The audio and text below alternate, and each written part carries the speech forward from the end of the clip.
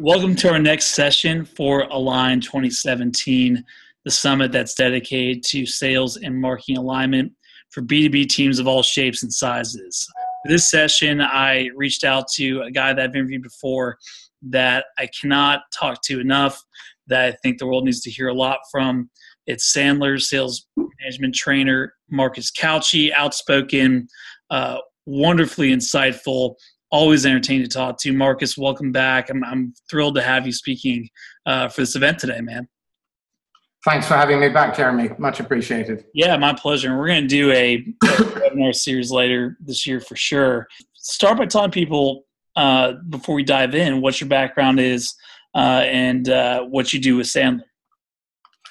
Um, been selling since 1988. Um, got into selling selling for um, an MLM company, a subsidiary uh, that was selling um, attachments for NSA. Um, got a bit of a bug for that. Uh, started developing a, the joy of the upsell. Um, then, when I was at university in the year after, did that. Managed to break even, um, which was great. It was yeah. I probably got about five to ten years worth of experience in the one year um, nothing like a bit of scar tissue. Um, and then decided to get trained up on someone else's dollar, which was a big mistake um, because virtually no training. Um, it was all the traditional AIDA and DIPADA kind of stuff um, and lots of feature benefit selling. And I used to work really hard. I'd do research, I'd prepare presentations. And then for you know, all of that effort, I get a 1 in 20 close rate. Um, and I started to read around the subject. Um, probably read about 300 books on sales. All of them were utter tosh. Um, I did uh, sold advertising selection, um, then uh, headhunting and search. Um, then got into uh, software, then professional services, and about 14 years ago came across Sandler and in the last 14 years, I've worked probably 400 to 450 segments of the market, um, everything from defense to um, naked platters, uh, systems to female fantasy fulfillment coaching and spiritualism, um, hardware, software, um, accountancy, uh, legal services uh, matchmaking. That was an odd one. um, and um, so we're with those guys. I mean, we took their average order value from 1,200 to 36,000 in four weeks. Um, and this Sandler material is just stunning uh, because it's the way the brain works. You sell to the other person's brain, um, and it puts you into the driving seat with zero pressure. Uh, you never handle objections. You, you never waste time on presentations to sell. You only present for the kill. Um, you never close. Your prospect does that for you. You know you've done a good close when they say, "Can I give you a check?" That kind of thing. Yeah, um, you guys, the, the most respected name in sales training for a reason. I, I mean, my past life as a uh, legal headhunter, law firm headhunter, uh, I remember getting a quick, just one hour training from from Sandler. It was by far the best thing I ever experienced. And uh, so start by telling people um, in the teams you're training, the the B2B sales organizations you're you're coming in to help with. What are the major issues with misalignment you're seeing, and what are some common areas that people maybe across the board could be doing better at? Okay, um, this is going to make me really unpopular, but frankly, I don't care. Um, sales is a subset of marketing. Mm. Anything that touches the customer, anything that um, internally communicates is marketing. And um, sales is an important but and critical subset of marketing. Um, but the problem starts with the way businesses start. Um, businesses, companies, products, job functions all go through a life cycle. Same, same with markets. You have startup, where basically it's all hands to the pump. Your chief cook, bottle washer, cleaner, um, your marketing, sales, operations, implementation, um, and management. Uh, then you move into a continuation phase where you've kind of um, you know ironed out the creases and you know knocked off the edges, and everything's going pretty smoothly. And you only have two places to go from there. You can either go into growth or you can go into turnaround. If you go, into growth, you suffer a whole heap of new pains. Um, you're constantly trying to backfill, you're in danger of overtrading, um, you're constantly having to recruit, um, you're having to hunt for new business, you've got to expand your existing accounts. And if you go into turnaround, then basically, um, you know, the nasty stuff has hit the fan. You're wasting um, resources. You've probably got internal conflict. You've got uh, structural tension between departments. You've got um, people who don't really have clarity as to what they're expected to do. And most of these problems start with atrocious management um, that lacks vision, is ambiguous in their expectation, hires the wrong people, often in their own image, only weaker. And once you've come out of that, then you move into recovery where you're looking your wounds and you only have two places to go there, which is back into turnaround um, or into growth. Um, now, the, the challenge here is that the majority of organizations are uh, led by two types of people. Um, they're either finance or they're sales. And I'm not entirely sure either of those are a good thing because if you look at that life cycle, um, a business starts up with a technician, someone who's good at doing stuff, an accountant, uh, a software developer, a, a consultant, um, and they're a technician in Gerber's, uh, you know, uh, triangle. So you have a technician, a manager, and an entrepreneur. Now, after they iron out the creases, they say to themselves, you know, I hate selling. Um, I'm not really a natural born salesman, so let me go out and buy myself um, some sales resource. And they burn through three, four, five, six, 10, 15, 20 bad salespeople. Um, eventually, they find a salesperson who's halfway okay, um, and they move into either growth or into turnaround. Um, sales moves into continuation, and sales says, Get me a marketing person uh, who can do all the drudge work that I don't want to do, uh, like lead generation. Then what happens is the business either moves into recovery or carries on in growth. Um, sales moves into growth or into turnaround. Marketing moves into continuation. And they think, I need a finance director. And this cycle carries on. And the finance director then needs an HR. And so what you've got is the wrong people, um, yeah, the lunatics running the asylum. Because I think marketing should control sales. Um, the problem is that most marketing isn't sales led or sales orientated. Um, it's uh, dealing with faffy stuff, uh, like making stuff look pretty, uh, branding, um, uh, and you know, that stuff has its place. But that's the cherry on top of the icing, on top of the marzipan, on top of the cake. Um, marketing's only function in life, as far as I'm concerned, is to put profit on the bottom line and to enable sales to do their stuff. Um, sales' job is to go out into the jungle with a shotgun and bring home prey. Uh, but your average salesperson uh, goes out into the jungle with a strimmer and comes back with the odd leaf. Um, and all of these problems start with recruitment because recruitment is where 99% of management problems begin. Um, if you hired the right people in the first place, you wouldn't have management problems. And most of those problems stem from bad leadership, which uh, stems from lack of clarity, and all of that creates misalignment. You listed a great just series of words that kind of I feel like are what define great recruitment, great team building, chemistry building from the outset, which are clarity, expectation setting, consistency, standards, fairness and consequences, and common purpose. Well, one of my favorite books and one of the best book titles I've come across um, is Ryan Holiday's Ego is the Enemy. Um, and it's a must read for anyone in life um, but particularly for anyone in sales, anyone in leadership, anyone in management. Um, and often what you find in organizations is that the team is not a team. There are a bunch of individuals all competing against each other. And um, I use a slightly non PC uh, phrase of willy waving. Um, people have a tendency to try and build their own fiefdoms and empires. And so they start to compete internally.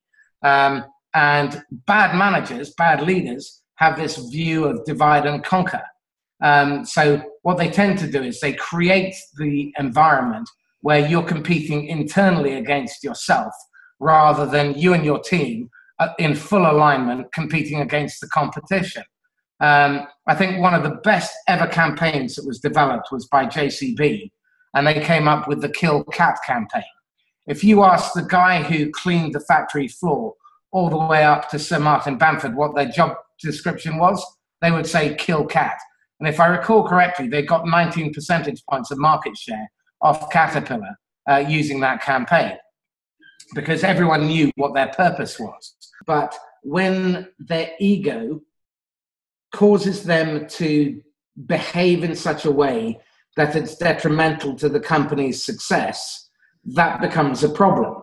Right. And so where you have, sorry, where, where, you have departments um, fighting over limited budget um, and they're not fully commonly aligned, um, then you have a major problem. And we, um, you know, in Britain, we ha- we're um, uh, relatively proud of our uh, rowing team and our cycling team um, because both of them over the last couple of Olympics have really managed to, uh, to you know, win gold left, right, and centre. And they had a philosophy: Does it mo- make the boat or the boat uh, bike go faster? If it doesn't, stop it and do something else. If it does, can we improve it? And, and th- this is a really simple philosophy. Um, but if your sales, your marketing, your operations, your execution team, your consultancy team, your finance team, your legal team are not all working towards that common purpose, then they are by definition working at odds with one another. And that slows you down. And that is a problem. If the leadership team can't come up with a reason why they exist and cannot communicate that so marketing can communicate it out to the, uh, the business and to their customer base and to the marketplace and to the competition, um, then you have a problem. You know, our business has um, a very simple purpose. It's to help people to do less but better on purpose. And enabling people to do that in their selling means that they have to constantly ask themselves a simple question What can I do today to make my life or someone else's life easier or simpler? How can this be done more simply, more smoothly, more efficiently? And you know, cut out the dross. What is the stuff that's taking up time needlessly?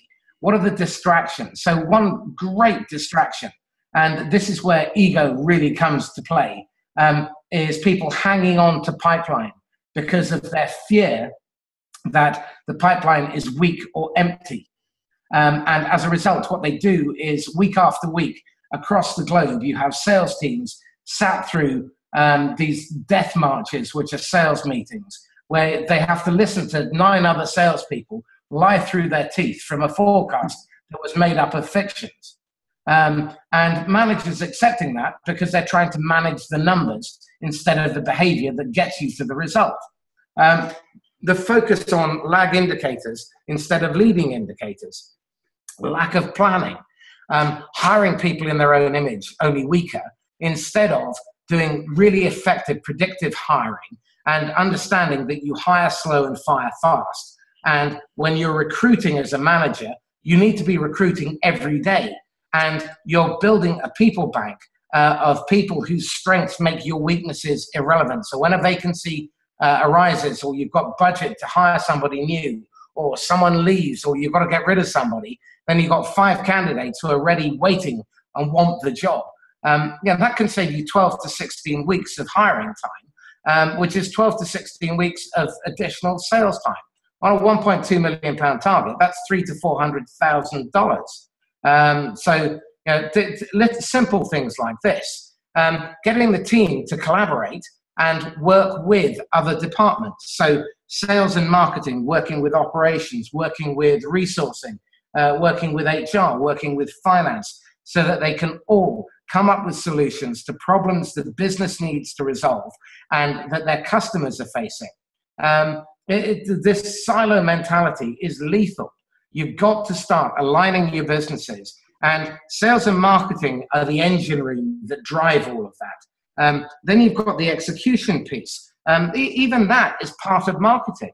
Um, and you, you, know, you've got to measure the right things. You've got to measure the leading indicators. So there, um, I'll give you a great example of this. I have a client uh, who came to me in February 2016, tracking at 25% of his target. Um, a year later, uh, his pipeline had 500% of his annual target already tied up on day one of 2017. Um, he went from number 11 to number one. He focused on only two metrics. The first one was the number of unique, effective conversations he was having every day um, with prospects. Uh, and a unique effective is no one has spoken to anyone in that company for 12, 18, 24 months. Um, they get past the gatekeeper through to the decision maker and they deliver a verbal upfront contract which goes along the lines of Jeremy, let me tell you in 30 seconds why I'm calling, and then you can decide whether to hang up or to invite me in. Now, if they do five of those a day, experience tells me that within six to 10 months, they will have a full pipeline that is three to five times larger than they need to hit their annual target. Now, if they keep maintaining that, and then they can spend 80% of their time uh, together with marketing and together with the execution team, working out how they can grow those accounts. Now, that's smart.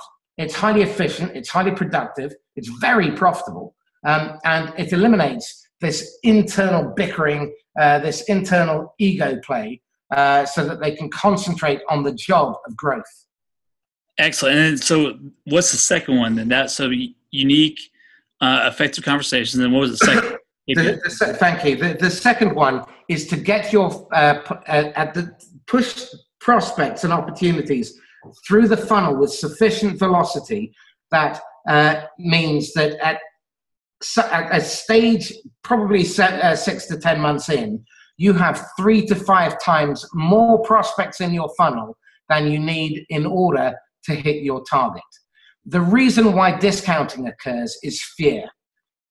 Uh, the reason why prospects feel they're able to put salespeople under pressure is fear, and it all stems from a weak, inconsistent, or empty sales pipeline. If your pipeline had five times more prospects in it than you needed uh, to hit your annual target on day one of the next financial year, how much would you be? How much would you care if someone says, "Look, um, we can't buy unless you give us a discount"? Okay, that's not a problem. Uh, when, when, you spoke to the other companies and told them that you were willing to, uh, they were willing to uh, take your business at those discounted rates, what did they say? Um, and you know, you, you push them away because you're confident that you're going to hit your number. If you have five times more prospects in the funnel, i.e., you focus on the problem upstream, which is invariably where salespeople are weak because they hate prospecting by and large, mm-hmm. and they don't do it. They'll find anything to do They'll go on the internet, they'll do research, they'll uh, do callbacks. Um, you, know, you, you can't say no to a prospect if you are terrified that they'll say uh, that they'll um. Um, you can't encourage them to say no to you if you're afraid that they'll say no to you because you don't have enough in the pipeline. How do you get people to where you can say these are your two or three critical metrics? These are things you don't want to do, but they like how do you get them to feel like i'm i'm compelled to do these? Is it putting them out in public? Is ah, visualizing okay. as goals? How do you do it? Okay. Um, well you work backwards from where you need to be and uh, i would always rather than aiming to hit the bar i'd always aim to go over it. Uh, so whatever number you're working on uh, in terms of the end result you work backwards from uh, say 120% of target and you divide that up in the form of a cookbook in terms of the number of closed deals that are required. Mm. Uh, then the number of final of, of proposals that need to be published uh, and signed off on uh, for them to hit that number. Um, so you might have to put, um, if you're really bad, you might have to put three or five proposals out to get one uh, deal in. Uh, then you work backwards from there. Well, how many final meetings result in a proposal? How many second meetings? How many first meetings? how many unique effective conversations, how many dials, how many leads. And what you're doing is you're focusing on the behavior. You know that if someone is not doing their five unique effective conversations a day, that there is a problem. It might be a psychological block. It might be avoidance. It might be fear of failure, fear of rejection. It might be that they're uncomfortable calling above um, their level of assignment. uh, to the where power is, so getting to decision makers. Um, it might be that they're doing avoidance behaviors like sending emails out, writing proposals, uh, going to lots of fruitless networking events, uh, spending time on LinkedIn unproductively and uh, without purpose. Um, so you, what you do is you look upstream and you see where the problem really begins. Is it that they're not doing the behavior? If they're doing the behavior, is it that they're not getting past the gatekeepers? In which case, as the manager, you can give them very specific coaching. Uh, marketing can provide them with messaging um, and can uh, act as the artillery uh, and soften those prospects up uh, with key messaging um, and uh, creating engagement. Um, is it that they're getting past the gatekeeper, but the call dies within the first minute or two?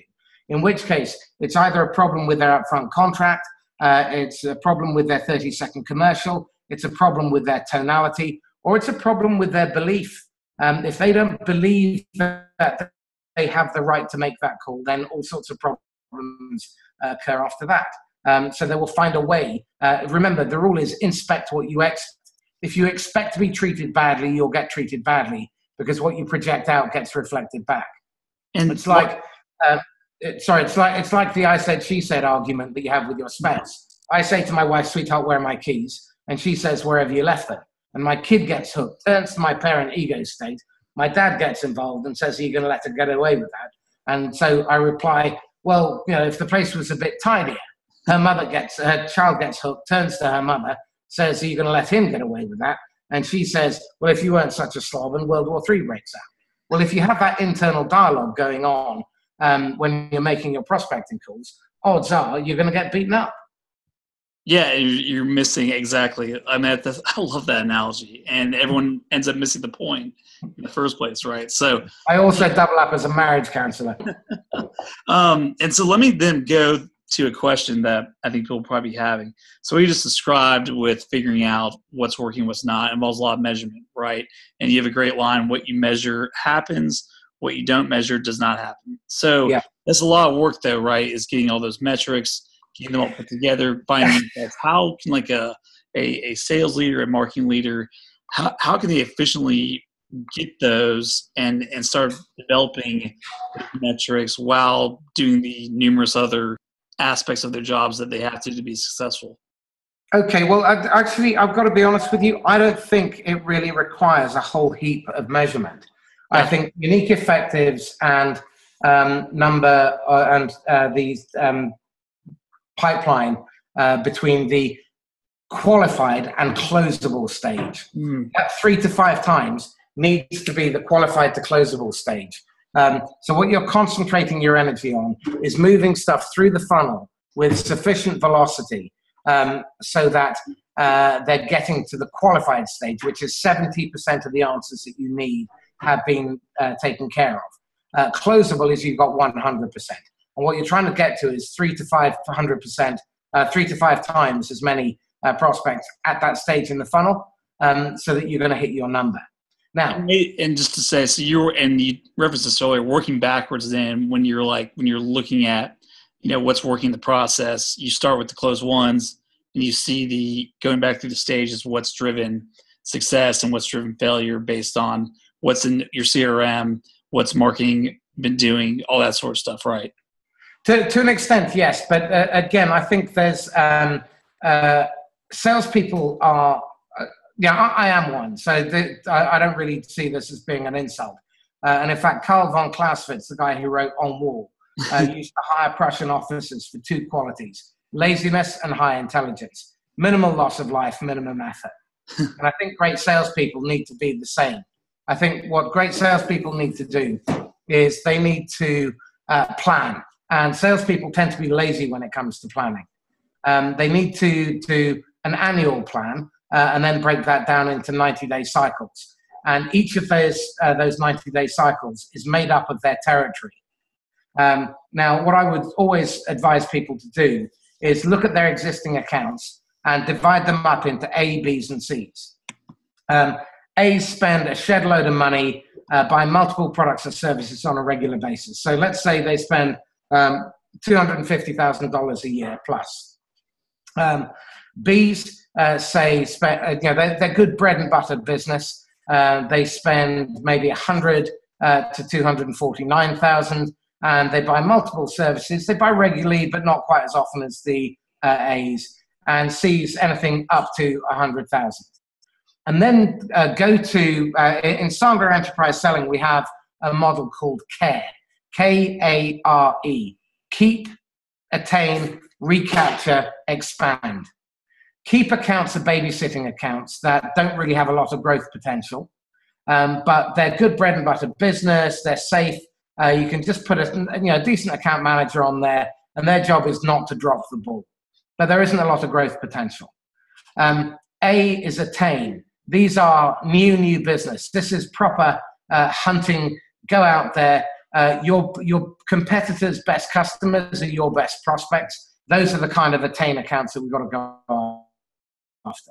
Um, then there's recapture. These are the ones who used to buy from you, but for some reason have lapsed. You messed up um, there was a change of personnel and they brought their preferred suppliers in, um, or you were lazy or you didn't really look after the account um, and they went uh, and traded elsewhere or tried to do it themselves. Um, and expand accounts. Uh, expand accounts are the ones that are marketplaces in and of themselves. So, an expand account uh, would be uh, what I would typically see as an enterprise account.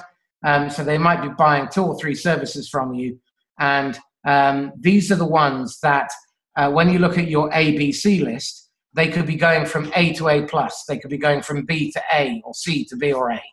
Um, and I would ideally want my salespeople to be spending 80% of their time on expand, which isn't the glamorous, but it is the most profitable. And after all, we're measured on what we keep, not we make, not what we make.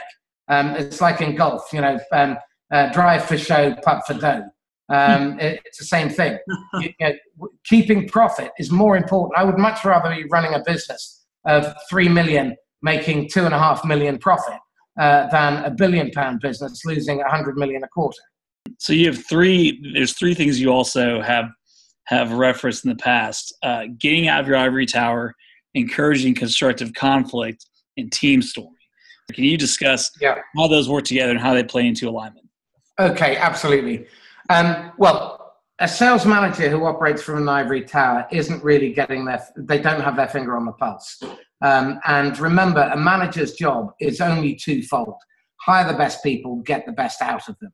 Um, if they're wasting a whole heap of time on supervisory activity, it's because they're focused on the wrong end of the problem.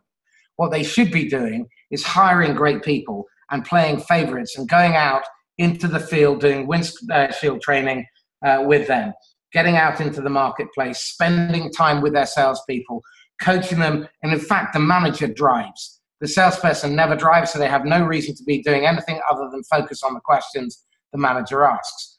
Um, the manager needs to do pre call planning uh, and rehearsal with the salesperson.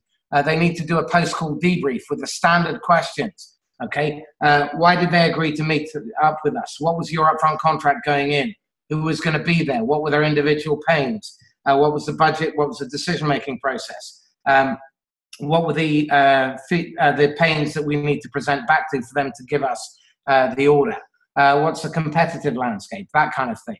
Um, when they're out in the field with the salesperson, they need to be asking questions about, um, well, what worked, what didn't work, what could you have done better, given your time again, facing that particular objection how would you reverse that question uh, so that you didn't end up trapping yourself into a box or giving away important, valuable information? Um, because salespeople have their mother on their shoulder, answer, they're saying, answer the nice man's question. Um, and too often they give away valuable information. They forget that if they're asked a question which they then have to answer, the rules are you answer in as short a manner as possible. It does you no harm, and it ends on a question mark. Um, simple stuff like that uh, making sure that they are um, coaching and getting the best out of their salespeople. And then this then feeds into the team sales meeting. The sales meeting should not be uh, that death march of people reporting fictional uh, forecast. Um, it should be a learning activity. The uh, forecast can be gleaned from the salesperson through a three minute a day conversation with each of the salespeople um, by um, speaking to them about what's in the pipeline, what's progressed, what have they disqualified out, um, why will this deal land, what roadblocks are there, and what help do they need. Um, and the sales meeting should be um, an opportunity for them to come up with a solution uh, to the kind of problems that they're facing. So get the salespeople in a room, but I would also get marketing, I would get operations, I'd get the engineers, I would get finance, and I'd get um, legal, and I'd get all those people into a room on a regular basis, at least once a quarter, but preferably once a month, and identify what the problem is and consolidate with a very concise version of either the opportunity, challenge, or problem. Then give a background overview of the kind of clarification issues, uh, constraints, um, and um, the kind of problems that uh, the kind of problems that you, they're uh, facing, and then just actively, proactively, everyone uh, think creatively. And this is about quantity rather than quality. It's about getting lots of ideas out there, um, and then have the team vote on the top four most likely solutions um, or most likely courses of action that are going to lead to a solution, then come up with an action plan. Um, you know, if you do that team storm, um, the facilitator will direct the process. They'll clarify, summarize, develop the team's ideas. Uh, they'll encourage people. They'll assist. They'll facilitate uh, and keep the team focused. And also set the ground rules that um, this isn't uh, an opportunity for everyone to have a gripe at everyone else. Um, every team member has uh, to share ideas and suggestions, build on the suggestions that have already been given, and be supportive, very team focused, listen and encourage the other people. And when we apply this, we get great results. I mean, seriously, the, the kind of results people get off the back of doing this are phenomenal. Um, because you, you, you know, th- this is proper synergy. I, you know, I'm reluctant to use the word because it's been so overused. Um, but if you can get five, eight, 10, 12 people in a room, all working towards solving the same problem and bringing their creative juices together with their uh, breadth of experience, you can get so much done. And amazing. You're all working towards common purpose. And it's such an amazing contrast: team storming versus pipeline review. I mean, even the rep. I mean, there's no rep in the world that would rather do pipeline review than team storming. Well, the, the, there is one, the guy at the top. The guy at the top. Actually, so let me let me jump to that then real quick because uh, that's another. This goes to the the third thing in this group. Something you you mentioned before. A players love to be measured, um, and then uh, constructive conflict. So, discuss real quick the concept of public accountability with metrics, and having a culture around that in your sales department, your marketing department, uh, success, all that sort of stuff, and and how that okay. plays out with elite elite people in those departments. Okay. Um, one thing that we've implemented very successfully with our clients is a daily huddle. And the daily huddle is a version of their journal or their cookbook, uh, which is what are my three behaviors for today? And these might be to disqualify out anything that's been in my pipeline uh, and an offer out on the table longer than a week. Um, to do um, my five unique effective calls and to um, map out the organizational structure of um, you know, company A. Um, then my three behaviors for yesterday were A, B, and C. Um, and how did I do against those yesterday? Is there anything I need to make up? And uh, by when? Um, what three lessons did I learn and um, what roadblocks am I facing? And this is where you start to get everybody's input. Now, it starts to get really interesting where um, you're going after, for example, you're doing a product launch or you're doing uh, entering into a new marketplace or you're trying to break into a particularly uh, attractive account, uh, but you're struggling. Um, so um, what you what you want to do is you want to make sure uh, you're getting into uh, the account using everybody's um, uh, brain power. Um, so uh, the salesperson responsible will have a 90 day plan, um, but then you get the team together to team storm how are we going to break into this account? Who do we need to engage with? What are the obstacles? Um, who's on side, who's off side? so who's a friend, uh, who's a foe, who's unknown. Um, how can we uh, circle round the wagons uh, to make sure uh, that we're uh, covering off all the bases? What three to five advancements do we need to make in this quarter within this account? How can we make that possible? Um, and I, I, think having the different departments in there, all you know, putting their case um, as to what contribution they can make um, and how they can all work together. Uh, it doesn't mean that you're not going to have argument, and that's the, the difference between destructive and constructive conflict. Um, if you're working towards common purpose, how do we win JP Morgan as our uh, you know, flagship account porter? Um, well, that, that's all fine and dandy, but if uh, marketing is worrying about branding and uh, their spend, and engineering is worrying about this and that and the other, and R&D is more, more concerned with developing something, uh, some new gizmo, um, and you know you're working at odds with one another. So focus your attention on how do we make the boat go faster, um, and get people to argue. The ground rules are that you're not allowed to um, uh, say things uh, that are going to offend the other people, uh, but you are absolutely allowed to um, challenge. And that's the facilitator or the manager's job is to challenge and to hold up, um, you know, to hold people to a higher standard so that you get that constructive conflict. Because I believe that conflict is important.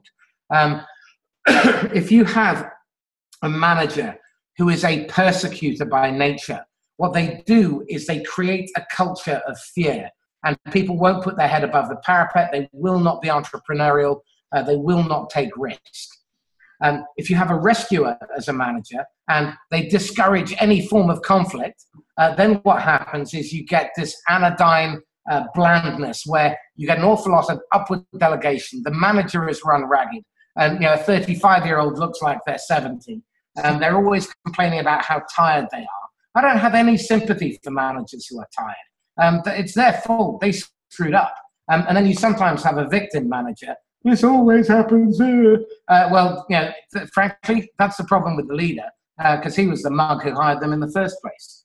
Um, you know, what you need is constructive conflict. You need that uh, structural tension, um, but focused on uh, it's you and the team against the problem and the competition, not you against the team who's against each other, who's against every other department. That's just madness. Yeah, no, and I, I, I that's a, such a great actionable takeaway for like first thing you can do to start doing sales marketing alignment. Get your team together, figure out a common goal for both sales and marketing to focus on, then have a healthy spirited debate about how to achieve that and encourage everyone to speak out in the, the manner you discussed. I, I love it, Marcus. And um, last quick question is actually more of a quest for a story. Uh, regard it's your ADP story about what happens when sales are not showing up. Share that, and then we'll sign off after that. But I want people to hear this the story here. Okay, um, th- this is a classic example of uh, misalignment. Um, a client of mine worked for um, a company. Um, I think you've already mentioned them, but I'm not going to for fear of retribution. Um, but, but, basically, um, marketing came up with this campaign, which was slagging off the current pre- payroll provider. Um, and uh, it was for the internal sales team that was selling to their existing accounts. Now, I mean, how can you possibly be more at odds than sending out marketing collateral to your existing customers, telling them that the reasons why they should be aggravated, angry, frustrated, and thoroughly pissed off with their current provider, uh, when in fact many of them were? I mean, talk about stupid. just catastrophic, uh, just total collapse there in, in alignment. I mean, yeah, please, please leave us. You know, please, please raise hell about all the things we're doing wrong. That is. Uh, well, can, can, you imagine the joy it was to be a salesperson on that team, going out to meet um, the uh, the prospects, um, when the first thing they do is they show them this email and says, "Well, this was an interesting email that we got you know, we really need a chat. I mean, for God's sake. That is a. Well, it's the antithesis of the Kill Cat campaign. Yes. You know, Kill Cat was really simple, well thought out. Everybody knew precisely what they were trying to do uh, versus this marketing fiasco uh, with everybody. Um, oh, I, I, mean, each time I think about it, um, I just shake my head in despair. Su- suicide by complexity as a company. right? Yeah. Uh, well, uh, well, Marcus has been amazing. I uh, I love uh, this is I'm just I love having you on, man. I could talk all day about the stuff with you. Tell people where they can read you and watch watch the videos you put out and learn more about Sandler and all that stuff. Well, um, I can be found on LinkedIn. Um, so I'm under um, basically it's uh, Sandler Sales Management Trainer. Um, if you want to look me up, um, uh, my, it's Marcus Cauchi, C A U C H I. Um, if you want to uh, connect with me on LinkedIn, that would be lovely. If you want to get me on Twitter, I'm the underscore inquisitor, and that's t- capital T H E underscore capital I N Q U I S I T O R. Um, I'm on YouTube. Um, there are about 400 videos on YouTube. Uh, there's just slightly more than 380 blogs uh, on um, LinkedIn. Um, and I, you know, if you've got questions that you want to have resolved, um, then I'm always looking for material for new videos um, because I run out of creative juices. So feel free uh, to throw your problems um, my way, and I'll come up with uh, ways to resolve them. Um, and my email is marcus.cauchi, C-A-U-C-H-I, at sandler.com. Excellent, man. And I can't, I got to add to anyone who's listening, check out uh, Marcus's podcast interview with us on the Sales Influencer Series. Marcus, thanks for coming on. This has been a wonderful session. And everybody, we hope you're enjoying the virtual summit. This is Align 2017. Marcus Cauchi, thanks so much.